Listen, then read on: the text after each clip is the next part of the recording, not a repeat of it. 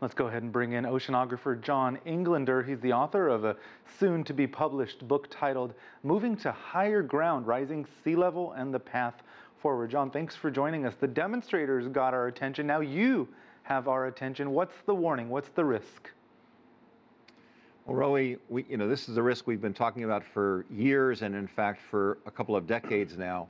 We're reaching tipping points. Some of the recent articles that have gotten uh, recent press attention are that the uh, the various tipping points appear to be cascading, and by that we mean that, for example, the Arctic sea ice, which is melting quicker and quicker, is understood to be responsible for changing weather patterns in the world, but also could be involved with slowing down the ocean currents, um, what we think of as the Gulf Stream in the Atlantic, but there's obviously prominent currents in the Pacific.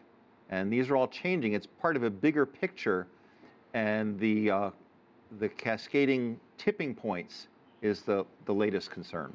A study released this week said that previous estimates of land elevation were wrong, and thus the number of vulnerable people was underestimated. Can you help us set the record straight?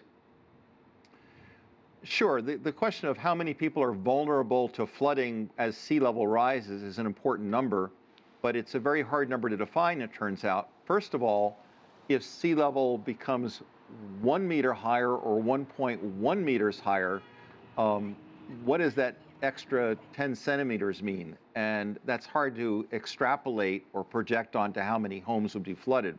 That's one problem. The study you're referring to is that in a lot of the world, particularly the under, underdeveloped parts of the world, the accuracy of maps about elevation are a little sketchy.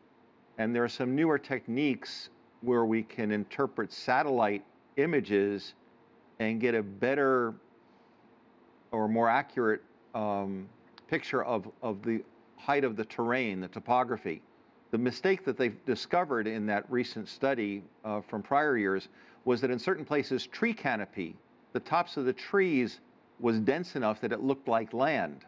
And now with some uh, artificial intelligence or machine learning, we're able to uh, decipher those satellite photos at a global level and get a better understanding of the actual land height.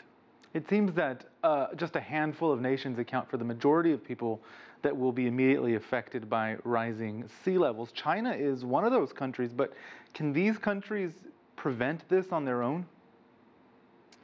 No, it's a global picture. You know, I, I, like to say that there's three things we need to look at here. There's the, the greenhouse gases, what we think of as the carbon, but it's really carbon dioxide. We have to reduce that. And the fastest way to do that is not only by international agreement, but by pricing carbon dioxide, or what's shorthanded as carbon. That will allow us to slow the warming faster, which is really important. That's the underlying problem.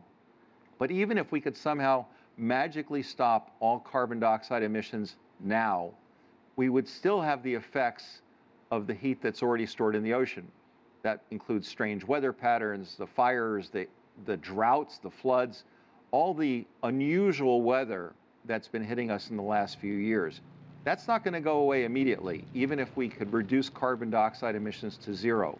So we have to be more resilient to these extreme weather events, which we're seeing month by month.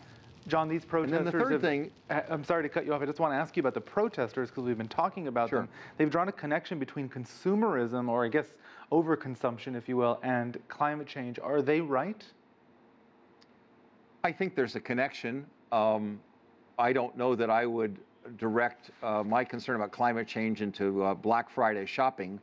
Uh, it's I, you can't say there isn't a case, but I don't think that's the that should be the right focal point.